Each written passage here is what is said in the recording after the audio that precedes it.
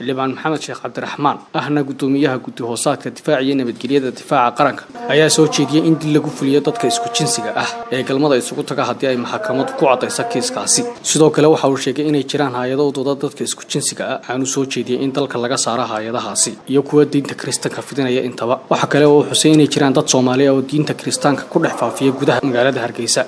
Fiiro gaara mudanayaal dhacdooyinkaa aynu soo sheegnay waxa dalka ku cusub wax diinteenna iyo dhaqankeennaba ku cusub baa jira. Oo runtii golaha markii horena ay la wadaageen guddiga wanaag fariistu oo ka mid ah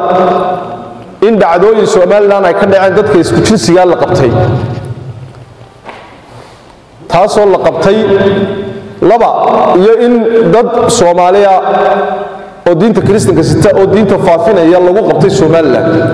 waa laba dhacdo oo diin ahaan iyo dhaqan ahaanba dhibaato inagu ah waxaan u soo jeedinaynaa in dadka kiisaskaa lagu hayo ee ay ku caddaatay